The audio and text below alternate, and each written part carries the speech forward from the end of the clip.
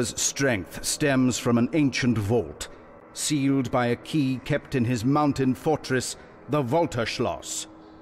To recover it, you must first traverse the ominous forest at the mountain's base, a forest mired in legends of the Impaler.